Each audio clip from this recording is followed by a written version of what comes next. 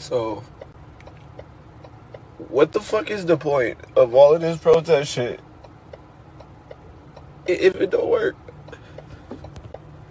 I'm in the country right now and I'm delivering. It.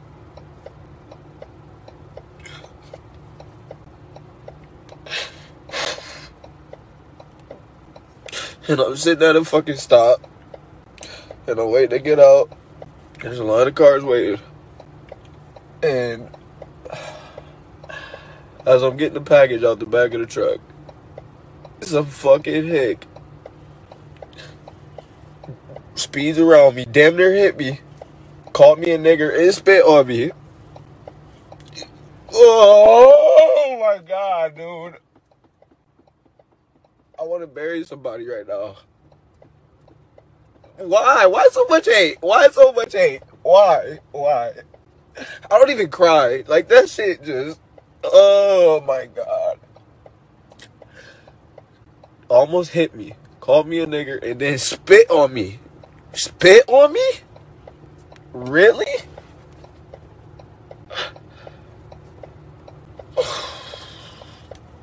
Wow. Just wow. Wow. Called me a nigger and spit on me and almost hit me. Wow. Why? Why so much hate? I don't get it. I really don't get it. I don't understand. I got white family. My dad's white. I don't get it. I don't get it. I'm literally stopped right now. I'm not even fucking doing anything right now. I can't. I can't even think straight right now.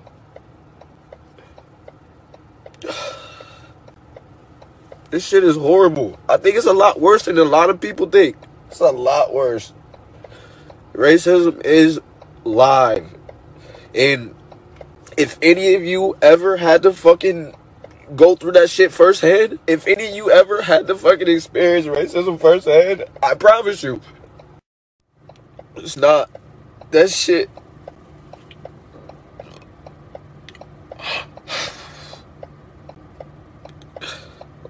Like, I don't.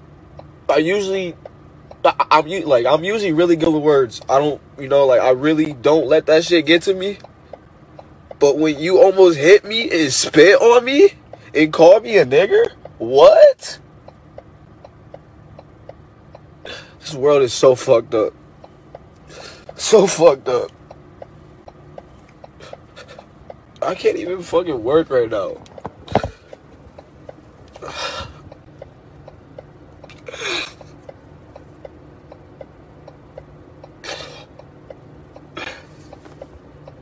Wow. I just had to share that with y'all. And I work for FedEx. I work for FedEx. I'm doing you guys a service, and that's what I get in return.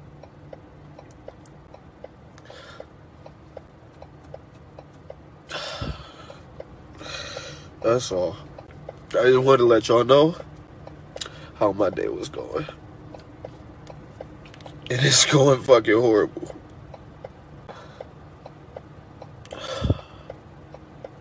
Wow.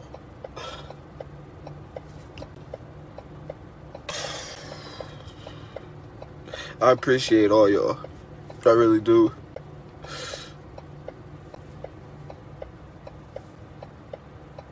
This shit is terrible. Shit is really terrible. Shit is really terrible. And I've known, that's the worst part is I've known how terrible this shit's been. I've known, I've been known. I've been fucking seeing this shit since day one. I've been seeing this shit since I came to Brunswick, since day one. I never said nothing because I don't never let words get to me, but when you almost hit me and you put your bodily fluids on me, no. No, that's not okay. That is not okay. That shit does not sit okay with me at all. and then you drive away like a fucking coward ass pussy. Coward ass pussy. Drive away. If you gonna have the balls to say some shit and do some shit like that, stop. I dare you. Well, better keep going, cause I'm on a fucking time limit. And got hella stops, so don't want to burn too much time. But I appreciate all y'all.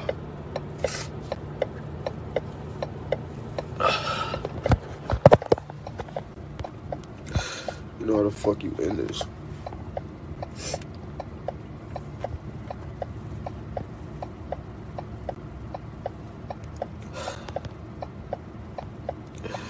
Thanks, Dave.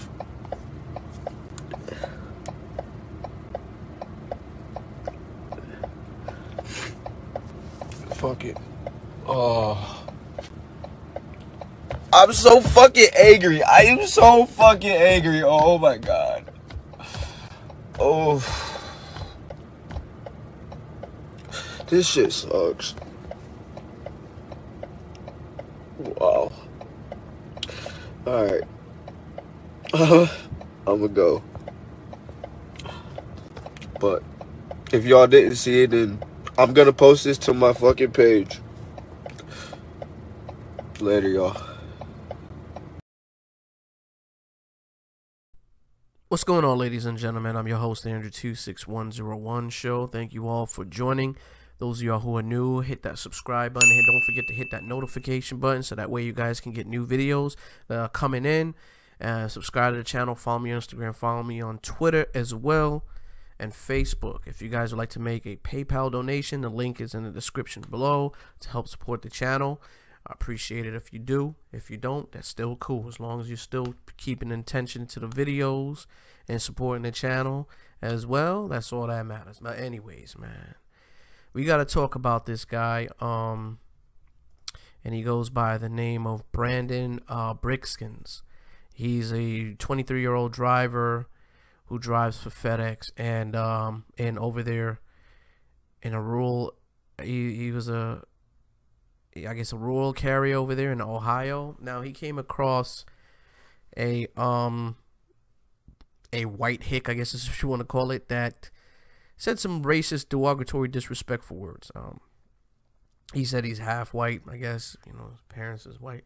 I don't know which one or whatever, but besides the point, he's black.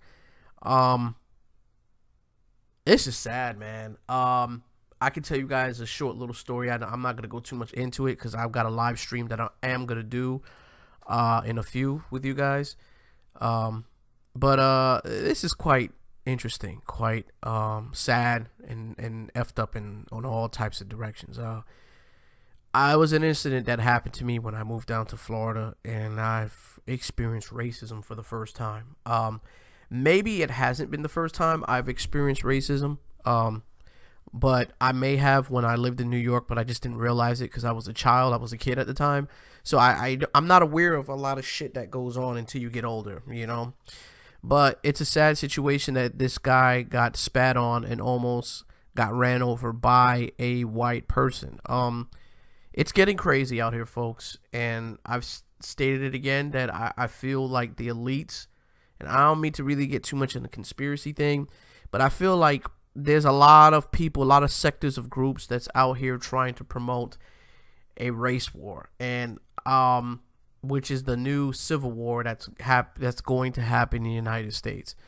Um, it's been a lot of craziness going on. Uh, blacks have been a it's it's it's hunting season for us. Uh, we've had guns pull out on us. Uh, you know, from police brutality to uh, residents. It's getting a little bit out of hand. Well, not out of hand, but it's getting really out of hand now that to the point where, you know, you've got the left and you got the right that don't like each other. You got liberals and you got conservatives that are at each other's throats. Everything's to do with politics. And it's just the whole world, the whole country is just really divided, man. And it's it's really freaking sad that we've gotten to this point that everybody's losing their minds and everyone front runner of this country the person that's in high control of this whole crazy mess that could possibly put a cease to it is our beloved president. And um, like I said, I'm not a Republican, I'm not a Democrat, but I'm just seeing the crazy shit that's going on, man. And um, it's getting crazy out here. Um, I really think that you know it's it's really sad, man. It it, it really, my heart goes out to this guy, and you know, I'm gonna talk to you about black men for for a second here, and um, I was confronted with racism. And it hurt me dearly. I didn't break into tears, but I was just more angry. I didn't feel like crying. I was just more angry and I was hurt, but I felt like I felt like beating the shit out of that guy. You know what I'm saying? For being a racist. But I've come I've come across it before where people were complete racist to me. But you gotta understand this guy's he's a kid. He's only 23 years old. You know, even though he, he looks old. You know, he looks old in the face, but you know he's only 23.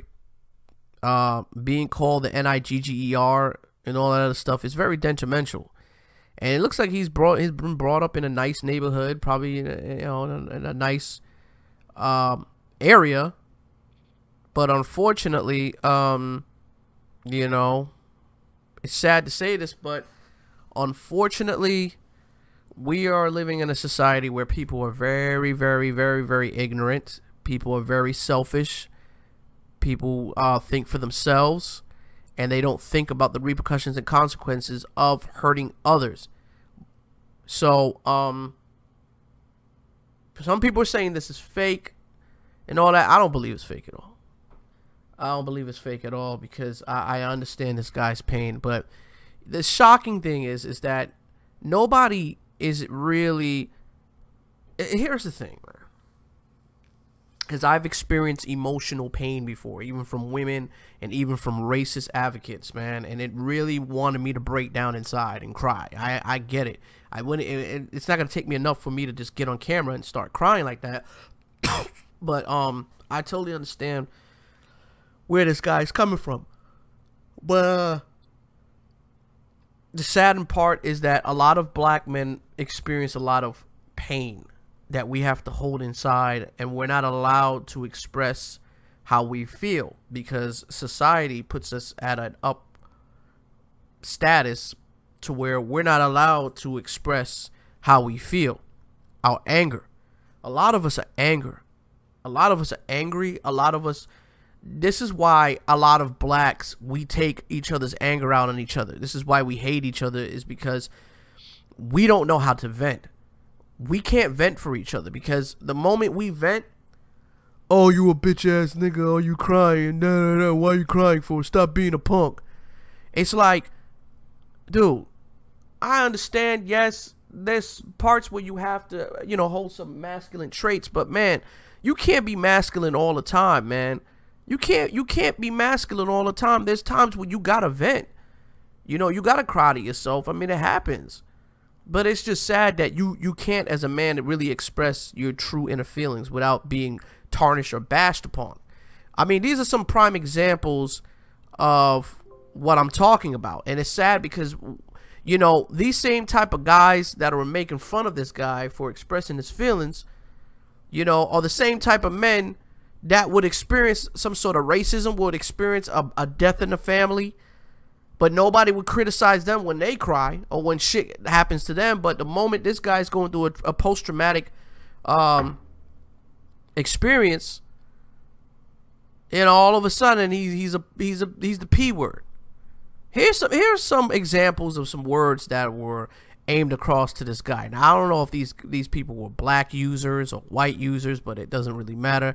I think majority of them are men and that's the problem with us as men, man. We don't like to uplift each other. The first thing we want to do is tear each other down. There is a systematic problem within the black community, man, and especially within black men. There is a mental disorder within the black families, within the black family structure and the black community. And I see this is why a lot of black men say fuck fuck fuck being black, fuck fuck dealing with black people. Because it's a waste of time. We're so we're always tearing each other down, man. And that's the sad part. But here's some here's some words that certain black people were saying towards this guy. Dude, man the F up. This dude is a perfect example of men that have taken on his baby feminine characteristics. Is this for real? Wow, you a grown ass man. Buck it up and take it. And if you don't want to take it, jump out your own truck and beat the ass of whoever disrespect you. Calling you the N-word and spitting on you, man up and grow a pair. This person says anything for likes. The F. I look like recording myself crying, laugh my ass out loud, do some push-ups. White people, y'all can have this P word.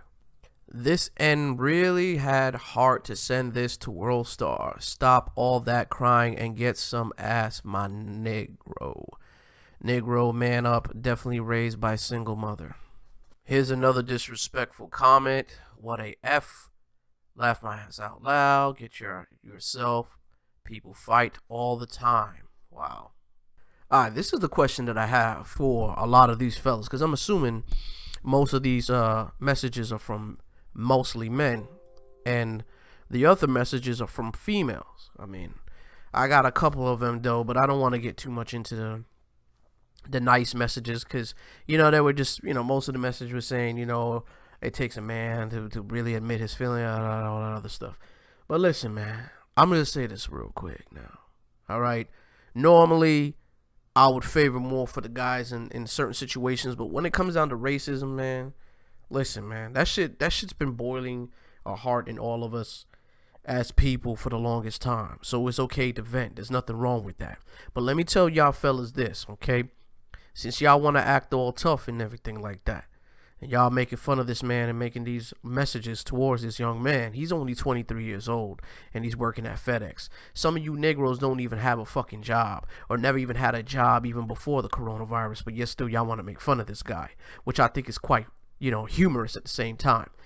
Um, number two is you guys act like y'all never been through racism before. All right. Number three, um, imagine if this was your brother or your mother or your daughters that was experiencing some type of racism. I know y'all gonna say, oh, it's because it's a girl. It's, it's different, right? Y'all just playing in the same propaganda as white supremacy and also the system has against black men. Now, just imagine if it was one of your sons, if y'all have kids, and if it was your son that was experiencing something like this that's detrimental, very traumatizing that a man spit on you and called you the N word. It wouldn't be so funny now, would it?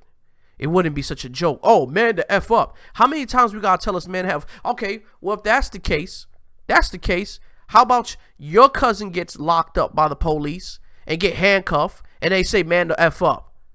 Maybe you should listen to the cop. Maybe that shouldn't wouldn't happen to you. Just imagine if other black folks were saying that to somebody. Nah, y'all wouldn't. Oh, no, no. It's different, though, right? I get it.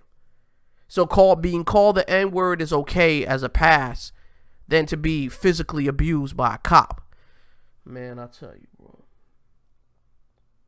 If we're thinking like this as black folks, we really got a long way to go, man.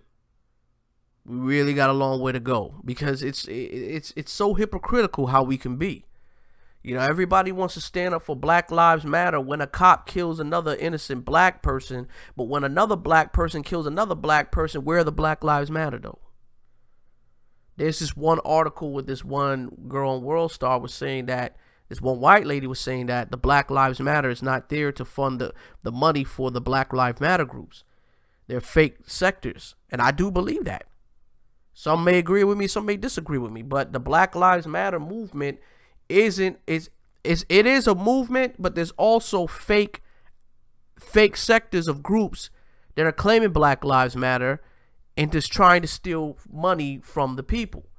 And the money is not going towards a a, a it's not going towards uh, police informant and police brutality against blacks. And you had a lot of white people that were donating the money, but this one white woman was exposing it that hey, there's these groups that are they're, they're claiming Black Lives Matter, but they're not for Black Lives Matter, and I totally agree with that, man. Like this, this world is all fucked up, man. Jehovah about to come and take this world by itself, man. This this world's all messed up. But listen, man. That's all I gotta say. I was gonna go ahead and do a, a live stream tonight. I'll leave it for tomorrow, folks, cause it's getting kind of late. I got to get up early for work and I'm hungry. So I'm about to go watch some Netflix. You know what I'm saying? But anyways, guys, rate the video, leave your comments, let me know what you think. Follow me on Instagram, follow me on Twitter. Don't forget to hit that subscribe button, hit that notification button, man. Check the preview out on the next show, man. There you go. Hit that link to previous video. Anyways, guys, I'm out.